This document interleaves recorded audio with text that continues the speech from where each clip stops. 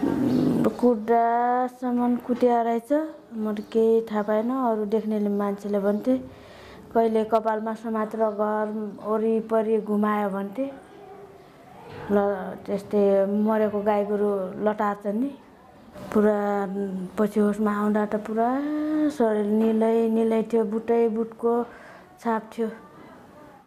Nepal had a civil war from 1996 to 2006, and there were many kinds of very serious human rights abuses committed during that time by both sides, by the government side as well as by the insurgent Maoist rebel side.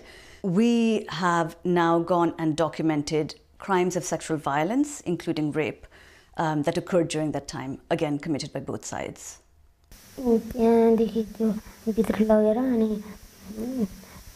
मेरो शरीरहरू के अरे मेरो कपडा सबै फुकालिदिएर अनि वस्त्र बनाएर अनि त्यसपछि बलात्कार गर्न खोज्थ्यो अनि त्यो गर्ने बेला मैले त्यो प्रतिकार गर्ने बेला हात खुट्टा छुन्ने बेला उसले मलाई ब्लेडले यताउता छिरेर माओवादीहरूले लगेको त मलाई थाहा पाए होला अरूले तर यस्तो बलात्कार गरे भन्ने कुरामा केही थाहा छैन कसैले पनि। जङ्गलमा अनि दुईजना जतिले अनि दुईवटा केटीहरू के अरे दुईवटा आइमाईहरू दुईवटा पुरुषहरू अनि एक एकजना लगेर त्यस्तै हिसाबले जान्थे जङ्गलतिर बलात्कार गरे अनि उति बेला चाहिँ पीडित पक्षहरू लुकी छिपी आउँथे लुकी छिपेर आउने अनि आफ्नो केही कुराहरू पीडितले आफ्नो केही समस्याहरू देखाउँथे देखाउन त जनरली खालि चोटपटक लागेको मतलब यसरी अप्ठ्यारो भएको कुरोहरू भन्थे तर उनीहरू त्यो हेर्दाखेरि डिप्रेसन भएका देखिन्थे There are a number of reasons for why the crimes were not reported at that time. In Nepal, as in many other countries, sexual violence, rape, is carries a tremendous stigma and shame. Women are generally very afraid to come out and speak about it.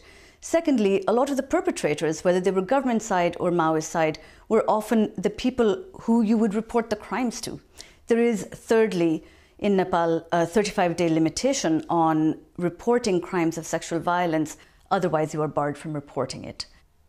उजुरी गर्न गएन कहीँ पनि अब त्यो जाने ठाउँ पनि हुनु पऱ्यो त्यो सुनिदिने मान्छे पनि हुनु पऱ्यो त्यहाँ गएर त्यस्तै म जस्ता मान्छेहरू हुँदा अब भन्ने पनि त्यस्तो उजुरै गर्ने समय परिस्थिति पनि थिएन त्यतिखेर अनि पछाडि भन्दा पनि अब के भयो यस्तो कुटपिट भयो भन्दा त आज अलिक सामान्य हो In 2006, the government and the rebels sat down and signed the Comprehensive Peace Agreement. Among the various promises made in that agreement was the establishment of a Truth and Reconciliation Commission and a promise from all sides that justice and accountability for war crimes would be had. That promise remains unfulfilled. The government also agreed to compensate victims of the conflict. Unfortunately, they left out victims of sexual violence or victims of torture. तर यस्ता धेरै पीडितहरू अझै खुलेर आफ्ना पीडाहरू राख्न सक्ने अवस्थामा छैनन् उनीहरू न सुरक्षित छन् आफ्ना कुराहरू राख्दा न उनीहरूले न्याय पाउँछु भन्ने विश्वास गर्न सक्छन् अहिलेसम्म पनि द्वन्द्वकालको मुद्दाहरू कहीँ दर्ता हुन सकिरहेको छैन। त्यहाँ एउटा कमजोरी छ। र तत्काल चाहिँ यो सङ्क्रमणकालीन न्याय व्यवस्थापनका लागि जुन आयोग गठन भएको छ त्यसको गठन हुनु पर्यो कारवाही प्रक्रियाहरू अगाडि बढाइनु पर्यो र द्वन्द्वकालका पीडितहरूले तत्काल न्याय पाउने राहत पाउने कुराहरूमा राज्यले विशेष चासोका साथ त्यो कामहरू गर्नु पर्यो Every single victim that we met with is injured both physically and psychologically. They in a way that is unimaginable. there are tremendous grievances and a sense that the government has really let them down, a sense that there is no support for them, and a sense that no one cares. त्यसले पिटिया कारणले त होला केही काम गर्नु सक्दैन अब अहिले त सक्दैनस् भनेर को हानेर मेरो दुःख हेर्न